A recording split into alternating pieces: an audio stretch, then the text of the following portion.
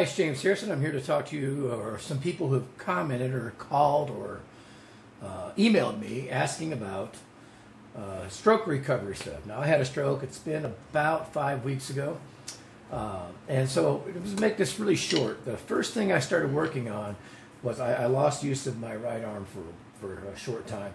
And I couldn't continue a straight up and down stroke. So, one of the exercises I just did was try to pull the stick and imagine I'm knocking on a door but not with a flat fist, but like I'm holding a stick. And so that I would just try to see if I can get that straight. Very loose, let it bounce back. Okay? That's what I worked on. And then I just took a marching exercise like eight on a hand and tried to do that. Focusing on getting a straight up and down stroke instead of at an angle or something. That's the very first thing I did. And then I just tried to alternate those strokes very loose, like it's bouncing up.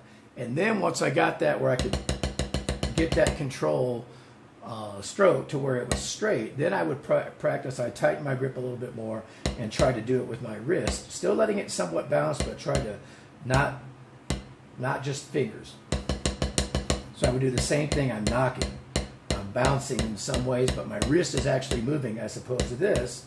When I do it with just the fingers, although my wrist is moving, the stick's doing more of the work. This is trying to me try to get my wrist and fingers in combination, and then. So all I did to start off was eight on a hand. More fingers, or very loose letting it bounce, more wrist oriented.